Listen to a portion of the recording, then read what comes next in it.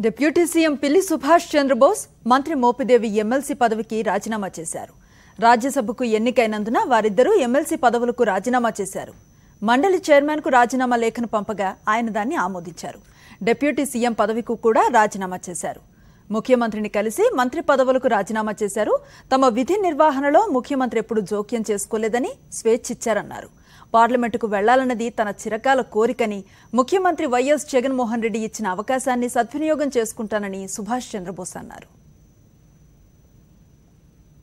ఉప ముఖ్యమంత్రిగా రెవెన్యూ మంత్రిగా సంవత్సర కాలం పూర్తయింది. ఈ సంవత్సర కాలంలో నా సంతృప్తి మేరకు నేను పనిచేస్తున్నానని చాలా సంతృప్తి చెందుతూ ఉన్నాను. గౌరవ ముఖ్యమంత్రి గారు మాత్రం ఏనాడు కూడా ఇంటర్ఫీర్ కాలేదు ఏ విషయంలోనూ కూడా. స్వేచ్ఛ ఇచ్చారు ఒక స్వేచ్ఛగా ఒక మంత్రికి స్వేచ్ఛ ఇచ్చినప్పుడు అతను చాలా సంతోషంగా తన యొక్క పదవి బాధ్యతలను పరిపూర్ణంగా నిర్వర్తించి ఒక సంతృప్తి చెందుతాడు. నేను ఆ సంతృప్తితోనే ఉన్నాను.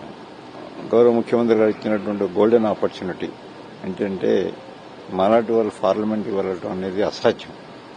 అంత అటువంటి ఒక మంచి ఆపర్చునిటీ ఇచ్చిన ఇచ్చినందుకు మొట్టమొదటి అడిగారు నన్ను.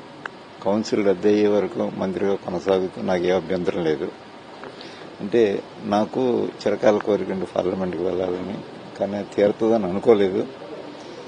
మీ దయవల్ల అది ఆపర్చునిటీ ఇచ్చారు కదా తప్పకుండా నేను పార్లమెంట్కి వెళ్ళడానికి నేను ప్రిఫరెన్స్ ఇస్తానని కూడా ఆ రోజు చెప్పి నేను చాలా సంతోషంగా ఇప్పుడే కౌన్సిల్ సభ్యత్వానికి రాజీనామా చేసి వస్తూ ఉన్నాను